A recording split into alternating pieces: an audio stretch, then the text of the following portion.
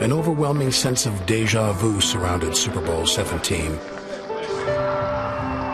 going to be a capacity crowd very close to 103, 104,000. 11 years after jilting the Dolphins for the Canadian Football League, Joe Theismann could erase his biggest blunder. He could have played in three Super Bowls for Don Shula. Now he was playing against Shula in his first. This game's about the money, but it's about the ring. And it's worth 70000 and a big ring! A big blanking ring.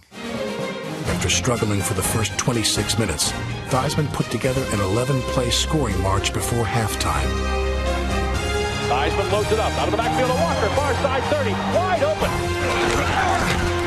Lob into the end zone. Garrett there, touchdown, Washington Redskins. We are back.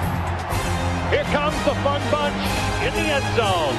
Let's kick off to it. Let's kick off to Fulton Walker. Fulton Walker, he's got it at the two, out to the five, to the ten. Comes to the Let's stand on the sidelines and watch Fulton Walker run almost 100 yards. He's gone. It's a touchdown. And as soon as the Redskins tie it, the Dolphins come back on top. We were right for the kill because of the, the Dallas win. This team was spent, emotionally, physically spent. We needed to be forced back into being desperate.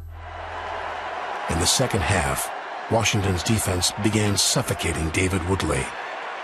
He has no completions in the second half. That's right. Trailing 17-13 with 10 minutes to go, Washington bogged down on Miami's 43. The Redskins' entire season had come down to fourth and a yard. The Redskins bet the farm on the Hogs. Let's go. Goal line, goal line. I left tight wing, 70 chip on white. Ready? Here comes the diesel. Here comes the diesel. Yellow 41! Yellow 41! Punch him, punch him! There's the snap, hand to Riggins. Good hole. He's got the first down to the 40. He's down. The 35,